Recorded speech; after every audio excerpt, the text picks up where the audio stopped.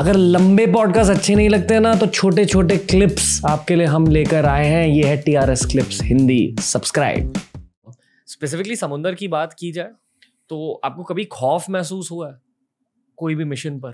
नहीं कभी नहीं। बिल्कुल नहीं। कभी नहीं। बट क्योंकि आप कमांडो हो पर अगर आप कमांडो नहीं होते तो कोई ऐसी सिचुएशन नहीं बिकॉज़ पूरे भारतीय नौसेना में कम से कम 150 के करीब युद्धपोत हैं और सब युद्धपोत में कम से कम 50 से लेकर 400 500 सेलर्स एंड ऑफिसर्स होते हैं और जो एयरक्राफ्ट कैरियर है जिसमें कि एयरक्राफ्ट भी फ्लाई करते हैं उसमें कम से कम दो हज़ार के करीब लोग तैनात होते हैं। जी। तो सब कमांडो नहीं होते लेकिन कोई भी स्केर्ड नहीं है।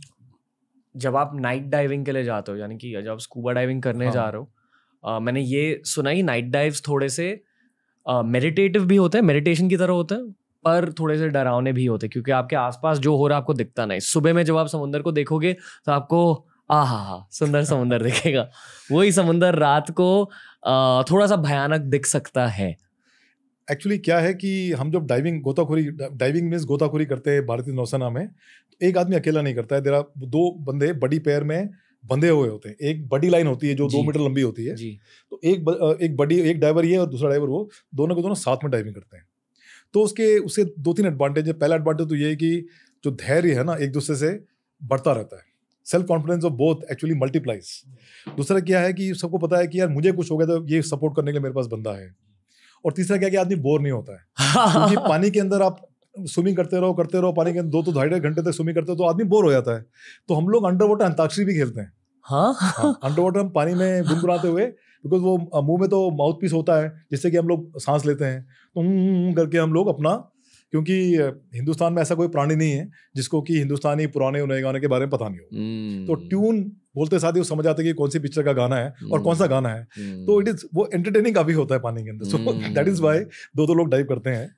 पर सर एक्चुअली अच्छा आप स्पेसिफिकली नाइट डाइव्स के बारे में कुछ बता सकते हैं? मतलब महसूस क्या होता है? जब आपने पहली बार नाइट डाइव किया हाँ। तो आपको क्या पता चला? मैंने लाइफ में दो बार ओपन वाटर में डाइविंग करी है और अ, पहली बार मुझे एक वेल दिखी थी। ओके पहले डाइव में।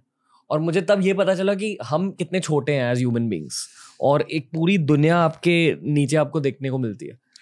एक्चुअली क्या होता है कि रात को है ना there is an effect called bioluminescence तो ये कुछ कीटाणु होते हैं जो कि पानी के अंदर होते हैं। Plankton not planktons they called bio bio they create bioluminescence यानी कि अगर पानी में पानी को हिलाओगे ना तो वो ना वो जुगनू की तरह चमकते हैं। हम्म, तो एक तो ये मज़ा आता है। दूसरा क्या होता है कि पानी के अंदर रात को पानी होल्ड्स लॉट ऑफ़ हीट तो बड़ा ऐसा लगता है कि सोनाबाद ले रहे हैं। अच्छा। मैं अच्छी बातें कर रहा हूँ। जी जी ये जी वही लगता है कि हाँ गर्म पानी में आराम से जब ज़्यादा डीप जाओगे ना तब ठंड लगनी शुरू होती है। तो हम अपने इंस्ट्रक्टर को चकमा देने के लिए जैसे कि हम लोग कभी डाइविंग करते थे कि ऊपर से सरफेस डिमांड यानी कि ऊपर से आपको हवा मिल रही है एक पाइप के ज़रिए। तो इंस्ट्रक्टर बोला कि पंद्रह मीटर में डाइव करो। हमें पता है कि आठ मीटर के बाद ठंड लगनी शुरू हो जाएगी। तो हम क्या करते थे कि आठ मीटर में रुक के और वहाँ पे है ना वो जो रोप है और वो जो पाइप है उसको हम एक, रोल करते थे। हम्म। इंस्ट्रक्टर को तो ये मालूम है कि इतनी पाइप जा रही है मीन्स अभी पंद्रह मीटर पहुँच गए। हम बैठे हुए आठ मीटर में। सो ऐसी थोड़ी चीटिंग होती थी मज़ा आता था। बट या एक बात है कि ना अंडर वाटर कुछ दिखता नहीं है बिकॉज़ इज़ नाइट तो सन्नाटा सा छाया होता है। तो कभी कभी सन्नाटे में मज़ा भी आता है। और अंडर वाटर क्या होता है कि हम लोग अक्सर पोर्ट में डाइव करते हैं यानी कि बंदरगाह में डाइव करते हैं जहाँ पे हमारा डाइविंग स्कूल है। तो वहाँ पे क्या होता है कि जट्टी वट्टी काफ़ी है जहाज़ काफ़ी है तो वहाँ पे ना ये बार्नकल्स होते हैं बार्नकल्स अंडर वाटर ग्रोथ होते हैं। They are animals only under water this तो वो आवाज़ करते हैं। जैसे कि रात को आवाज़? Mean you can make out की there is a ship and there is a jetty nearby तो with you can make out हाँ कि आप अकेले नहीं हो आपके बड्डी के अलावा ऊपर तो खैर आपके डाइविंग सुपरवाइजर डाइविंग में बोट में बैठे हुए हैं लेकिन चारों तरफ़ भी लोग हैं। अच्छा डर नहीं लगता है? क्यों नहीं लगता है? क्योंकि आपको देख नहीं सकते। प्रॉब्लम तब होती है जबकि सुबह डाइव कर रहे हो आप और और क्लियर विजिबिलिटी बहुत ज़्यादा अच्छी है। तो वहाँ पे अगर कोई छोटी सी मछली आ गई बोलोगे शार्क आ गई।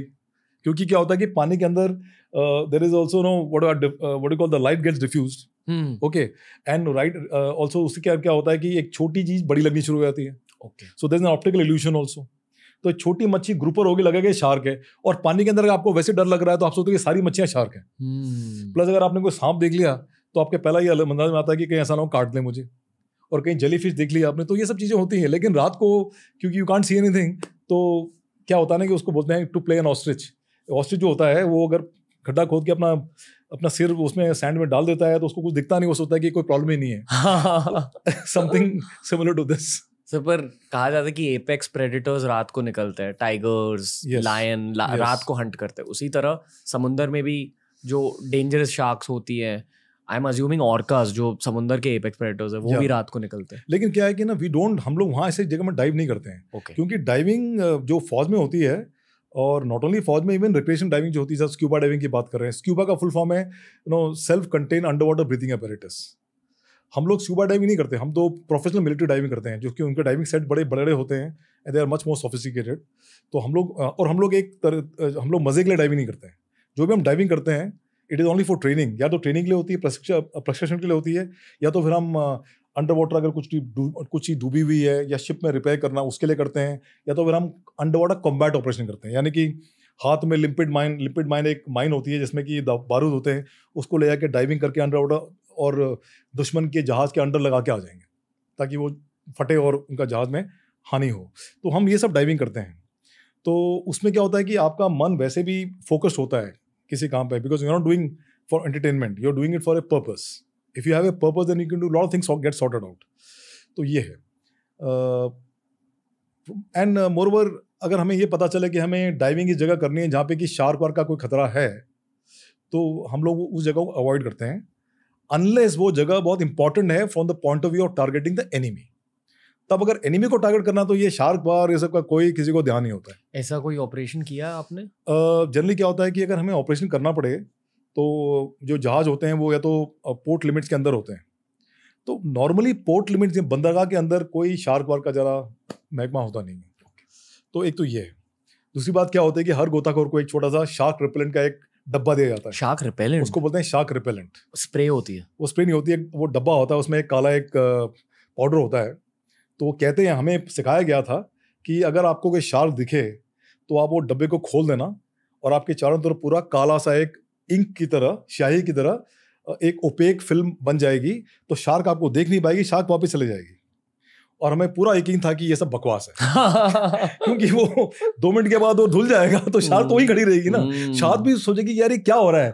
और आउट ऑफ़ क्यूरोसिटी शार्क को देखते रहेगी। उसके बाद तो फिर आपकी परेशानी बढ़ सकती है। हम्म।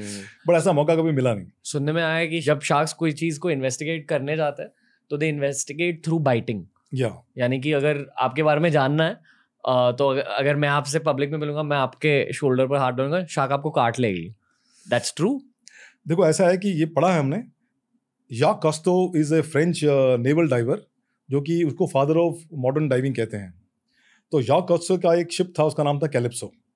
It was a French naval minesweeper got decommission उसके बाद उन्होंने वो शिप ले लिया। तो पूरे वर्ल्ड में जाके वो डाइविंग करते थे। एंड आफ्टर वो नेवी छोड़ने के बाद फ्रेंच नेवी छोड़ने के बाद वो एक प्रोफेशनल डाइविंग करते थे अंडर वाटर आर्कियोलॉजी ये सब करते थे। Under water there under water Okay. Archaeology proper होती है। ओके इसकी हाँ, इसके बारे में ये ये खोज की जो किसने की है इसके बारे में द्वारका के बारे में किसने की है? जी ओके okay. हाँ इसमें काफ़ी नेवी के गोताखोर भी इन्वॉल्व थे। तो वो आए थे अंडमान निकोबार। और मेरे एक कज़न हैं जो काफ़ी मुझसे सीनियर अभी सर्विस उन्होंने छोड़ दी है वो अभी मर्चेंट नेवी में मास्टर हैं। तो वो भी एक मरीन कमांडो थे और गोताखोर थे। तो वो वहाँ एक गोताखोर की टुकड़ी के इंचार्ज थे ऑफिसर इंचार्ज तो जैक कसू ने डाइव किया अब वो इंटरेस्टेड है कि जहाँ शार्क होगी मैं वहाँ डाइव करूँगा। तो पोर्ट ब्लेयर में अंडमान निकोबार में काफ़ी शार्क्स हैं। तो ये भी उनके साथ चले गए और उसके बाद उन्होंने डाइविंग किया। अब जैक कसो उसकी टीम तो बहुत ही प्रोफेशनल है। उन्होंने पता नहीं वर्ल्ड में कहीं कहीं जगह डाइविंग की है तो वो पूरे प्रिकॉशन लेते हैं। तो हमें भी उसमें से कुछ नॉलेज मिला।